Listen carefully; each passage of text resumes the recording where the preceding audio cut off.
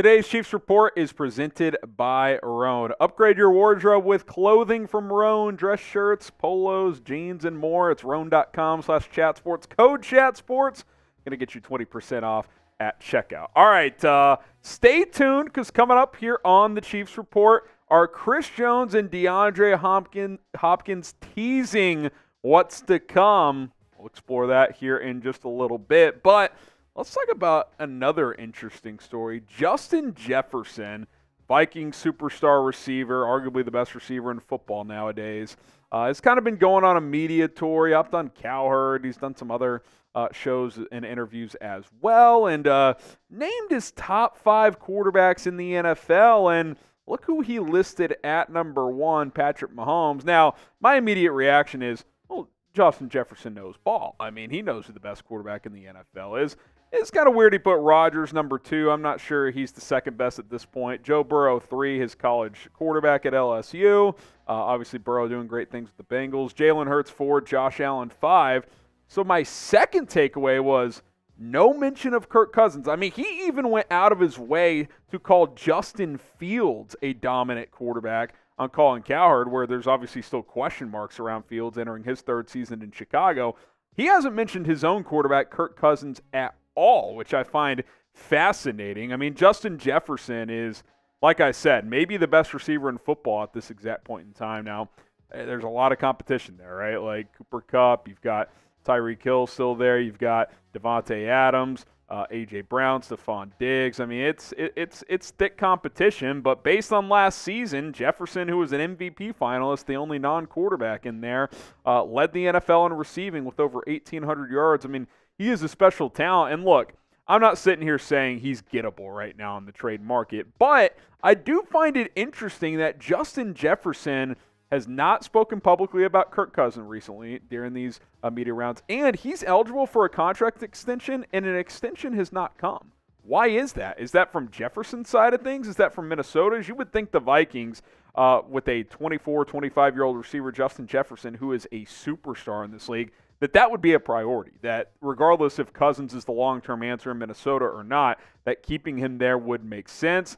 You start kind of thinking, you're like, man, if somehow he ever could become available and play with Patrick Mahomes, I mean, it would literally be unfair for opposing defenses, especially if he still got here while uh, Travis Kelce was still you know, at the peak of his powers, which obviously that would have to be in the next couple year, next couple years because Kelce's going to be 34 this year. But uh, it's it's fascinating. Uh, I'll be curious to see how that plays out in Minnesota. Again, I don't think the Chiefs are going to be able to get him, but I'd be hyped as hell if they did. How hyped would you be if the Chiefs got Jetta, Justin Jefferson? That of course is his nickname. Scale of one to 100. I'd be at about a 10,000 because this team would break records, uh, which a lot of them would be their own bre- records that they are breaking. Scale of 1 to 100, how hyped would you be to get Justin Jefferson in Kansas City? Has new evidence emerged around DeAndre Hopkins becoming a Kansas City Chief? Have new details surfaced?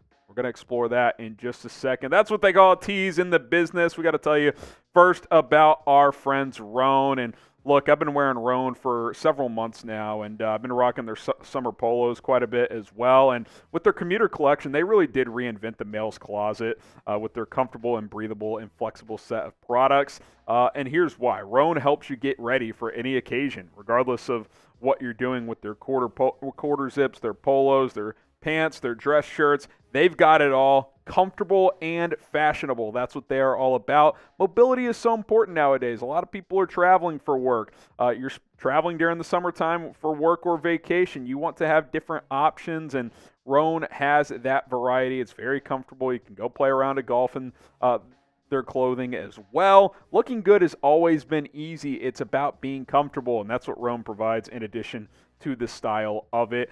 Best part about Rhone, in my opinion, machine washable. I used to hate every couple of weeks rounding out my work shirts and uh, you know Sunday uh, clothes and whatnot, and having to go to the dry cleaners. No more. Throw these clothes in the washer, air dry them. You're good to go. Use code ChatSports at rhone.com slash chatsports. That's R H O N E.com slash chatsports Code Chat Sports to get 20% off at checkout. It's Rhone. Upgrade your closet today. That link will be in the comments and in the description. If you look very closely here, Chris Jones talking about enjoyed the ESPYs with my brothers, yada, yada, yada. And look who commented DeAndre Hopkins with the little, you know, uh, praise emoji. And then Chris Jones, little finger crossed there. Something's in the works. What? And the handshake as well. What are we waiting for? I mean, seriously, what are we waiting for? The suspense is killing me. Brett Veach, let's get moving, man.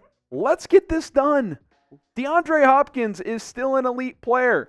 Look, he's not a top five receiver in the NFL, but when fully healthy, he's still a number one, and that's all you need. You don't even need it, but if you have it, who's going to stop you?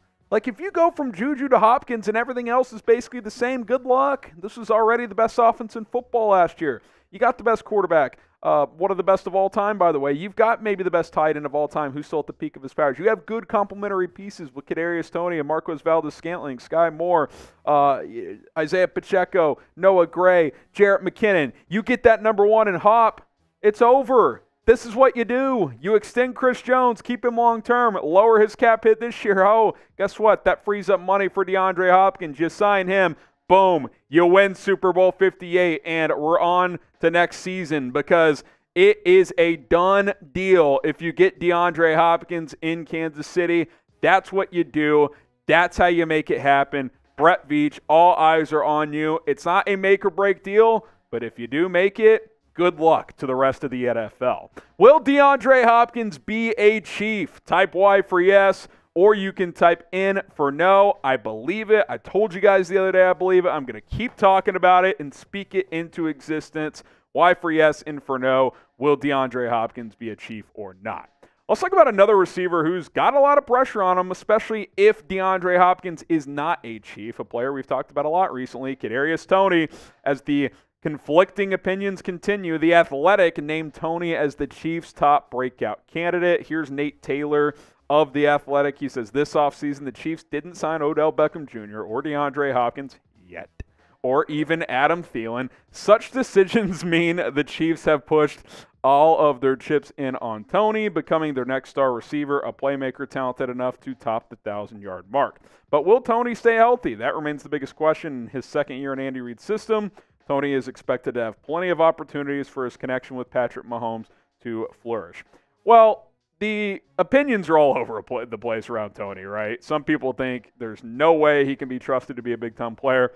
Others, I'm kind of in the middle. I'm like, I think he's got the talent to be a number one. I think he needs to mature more. Uh, I've also said that regardless of what happens, the trade was already worth it because he helped you win a Super Bowl. Um, but the reality is, is he's got to go prove it, man. I mean, in two seasons, he's got less than 600 yards. He's had injury problems and he's had attitude problems, uh, commitment issues. I mean, the Giants' tenure was a mess. I mean, all those things are legitimate. And as of now, I mean, you're kind of thinking he might be your number one. I don't think that's a great idea. I really don't. Doesn't mean he's not capable of it, uh, but. Uh, it's it's a risk. It, it, it's absolutely a risk. Now he didn't have a true number one last year, but Juju was at least a steady presence, right? He gave you 900 yards last year, almost 80 catches. Like you knew when he was on the field, he was going to bring something to the table. Toney's all over the place. He might go for a buck 50. He may not be available. So it's an interesting thing. And look, if you don't get a DeAndre Hopkins, you need Toney to perform. Period. Like it's not optional. You need him to be a guy that's on this offense. But if you do get Hopkins, which is why I keep clamoring for it, if the worst happens with Toney, you're not cooked. Like you're okay. You've got plenty of depth. But if you don't get Hopkins and Toney is your projected one and he flames out, you're not cooked. But it's a lot harder at that point, even for uh, a team as good as this one. So I'm going to set the over under at 750 yards for Kadarius Toney. Uh, Producer Coop thinks it's over. I think if he stays healthy, it's over. Even if he is a bit of a knucklehead this year, I just think the talent is too good and he's going to get opportunities. Type O for over. Type U for under. 750 yards for Kadarius Toney, over or under. Get your votes in down below and let us know. And don't forget to subscribe to the channel. We will continue to plug out the latest Chiefs news, rumors, updates. Training camp is almost here. We'll have full coverage for that as well. My name is Harrison Graham. Until next time, go Chiefs.